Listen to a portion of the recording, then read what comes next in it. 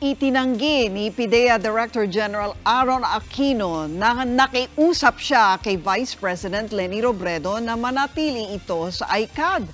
Sa kanyang radio program kahapon, sinabi ni Robredo na kinausap siya ni Aquino para huwag silang iwan dahil marami nang nangyayari noong dumating ang Vice Presidente sa ICAD.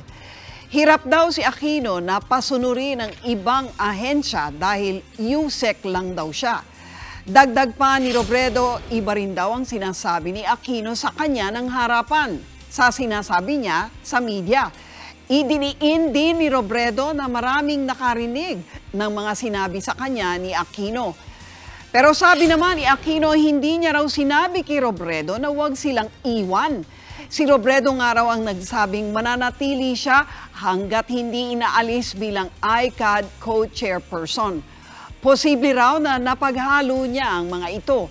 Itinanggi rin ni Aquino na ibang sinasabi niya sa harap ni Robredo at sa harap ng media.